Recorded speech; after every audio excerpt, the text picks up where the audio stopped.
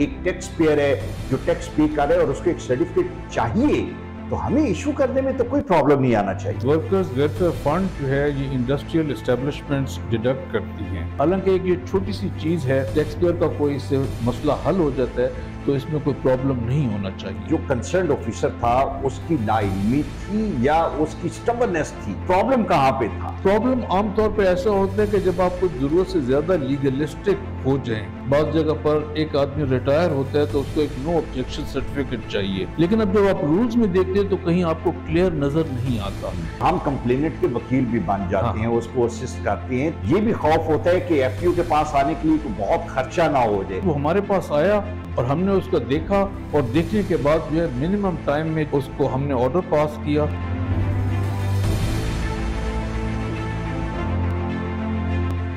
FDR के पास बेशुमार data available होता है आ, लेकिन जो टैक्स पेयर है और खास तौर पे जो छोटा टैक्स पेयर है उसको जो रन अराउंड है वो जो फेरे लगवाए जाते हैं चक्कर लगवाए जाते हैं उस बेचारे के लिए बहुत मुश्किल हो जाता है। और हमारा काम यह है कि हम आसानियाँ पैदा करें और उनकी आसानियों के लिए we stand with them worker welfare fund एक डिडक्शन है जो कि मुख्तलिफ़ वर्कर्स की होती रहती है और फिर एक टाइम आता है जहाँ पे उनको एक सर्टिफिकेट चाहिए। जब आपके पास डिडक्शन है तो आपके पास उसका रैकेट मौजूद है और जब रैकेट मौजूद है तो आप उसका सर्टिफिकेट देने में कोई प्रॉब्लम नहीं होगा। आम लोगों की अंडरस्टैंडिंग के लिए मैं ये बताना चाहूँगा कि बाज आप जो आपका मोबाइल फ़ोन से उसमें जो टैक्स डिडक्शन है, उसका सर्टिफिकेट आपको चाहिए होता है तो आप फॉरन से पहले वो ले लेते हैं। और बेशुमार जो डिडक्शन है उसके सर्टिफिकेट्स अवेलेबल हैं।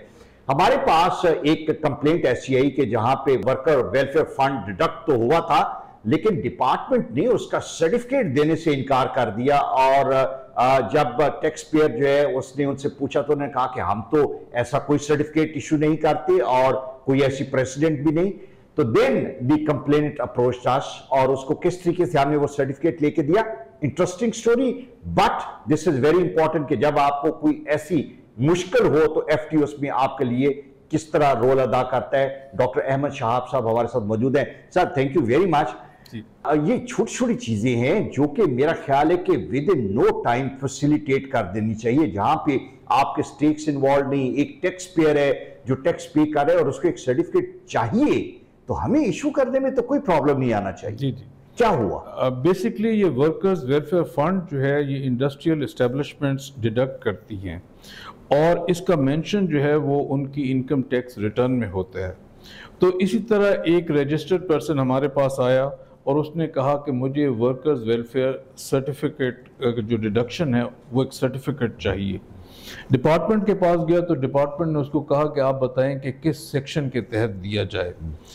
तो बहरहाल, वो जब हमारे पास आया तो फिर हमने डिपार्टमेंट का व्यू पॉइंट भी लिया और उसमें हमें पता ये चला कि डिपार्टमेंट ने इससे पिछले सालों में उसको वर्कर वेलफेयर फंड दिया हुआ है। अच्छा दिया हुआ था हाँ। तो अब हमने कहा क्या चीज़ माने है हम्म। फिर प्लस उन्होंने कहा कि नहीं वो लीगली जो है उसको देख रहे थे हालाँकि एक ये छोटी सी चीज़ है हम्म। जो कि उसको मिल जाना चाहिए था हम्म।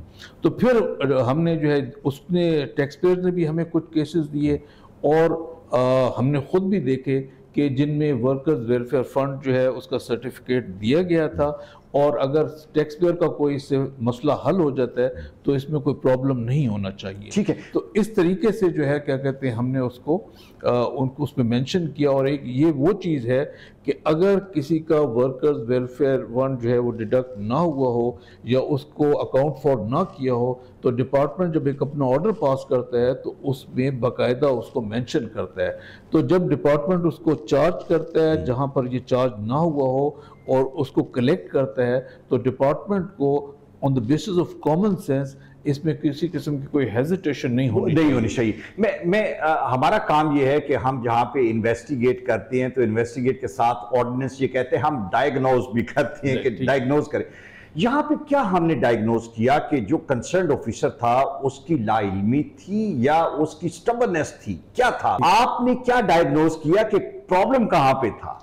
प्रॉब्लम आमतौर पर ऐसा होता है कि जब आपको ज़रूरत से ज़्यादा लीगलिस्टिक हो जाए तो उससे अब बहुत सी चीज़ें ऐसी होती हैं कि जहाँ पर टैक्स पेयर को फॉर इंस्टेंस बाज़ जगह पर एक आदमी रिटायर होता है तो उसको एक नो ऑब्जेक्शन सर्टिफिकेट चाहिए।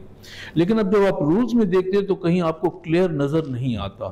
लेकिन ये एक प्रैक्टिस है कि आप देते हैं जिससे उसका मसला हल हो जाता है। अब यहाँ पर जो हमारा कंप्लेनेंट था उसको ये एक सर्टिफिकेट चाहिए था और ज़ाहिर है कि उसकी कोई ना कोई रिक्वायरमेंट थी जिसकी वजह से तो अब हमने ये देखा कि प्रेसिडेंट क्या है?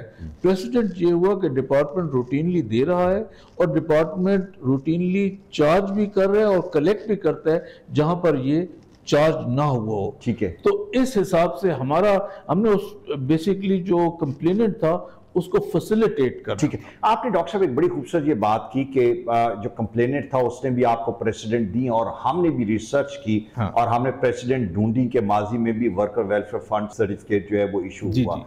हम ये कहते हैं कि हम कंप्लेनेंट के वकील भी बन जाते हाँ। हैं उसको असिस्ट करते हैं तो ये जो कंप्लेनेंट था इसको कोई लंबी चौड़ी हैसल करनी पड़ी कोई वकील एंगेज करना पड़ा क्या हुआ? मैं ये चाहता हूँ कि लोगों को ये भी खौफ होता है कि एफटीओ के पास आने के लिए कोई बहुत खर्चा ना हो जाए। तो कोई ऐसी बात तो नहीं इसके साथ थी? नहीं ऐसी कोई बात नहीं थी। वो हमारे पास आया और हमने उसको देखा और देखने के बाद जो है मिनिमम टाइम में जो है उसको हमने ऑर्डर पास किया। ताकि जो है क्या कहते हैं उसका अजाला हो सके जो उसको प्रॉब्लम था। Thank you very much doctor साहब। हम जो कंप्लेनेंट है उसकी उसकी कंप्लेंट को देखते हैं और फिर उसको असिस्ट करते हैं और फिर उसके साथ चलते हैं। टिल द टाइम के he gets relief worker welfare fund एक uh, बहुत बड़ा एक ऐसी टैक्स कलेक्शन का सिस्टम है जहाँ पे अगर आपको किसी स्टेट पे सर्टिफिकेट की ज़रूरत है और हो सकता है कि किसी ला ला इल्मी की वजह से डिपार्टमेंट के लोग वो सर्टिफिकेट इशू ना कर रहे हो। Anytime you find a problem, now we have more precedent and the precedent is a very recent order by the honorable FTO तो आप इससे, इस, इससे फ़ायदा उठाते हुए आप अपना सर्टिफिकेट हासिल कर सकते हैं और मुश्किलात हो।